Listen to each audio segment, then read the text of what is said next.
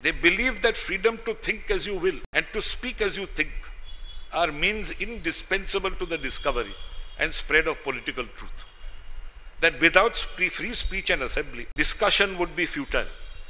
That with them, discussion affords ordinarily adequate protection against the dissemination of noxious doctrine. That the path of safety lies in the opportunity to discuss freely supposed grievances and proposed remedies, and that the fitting remedy for all evil counsels is good ones. Believing in the power of reason as applied through public discussion, they eschewed silence coerced by law.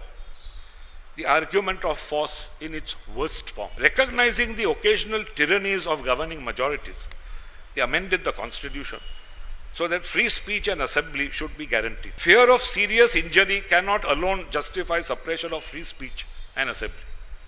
Men feared witches and burnt women. It is the function of speech to free men from the bondage of irrational fears. To justify suppression of free speech, there must be reasonable ground to fear that serious evil will result if free speech is practiced. There must be reasonable ground to believe the danger apprehended is, is, imminent.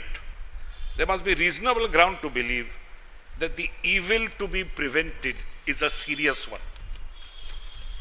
Those who won our independence by revolution were not cowards.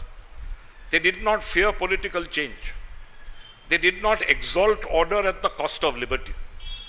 To courageous, self reliant men with confidence in the power of free and fearless reasoning, applied through the processes of popular government, no danger flowing from speech can be deemed clear and present unless the incidence of the evil is apprehended.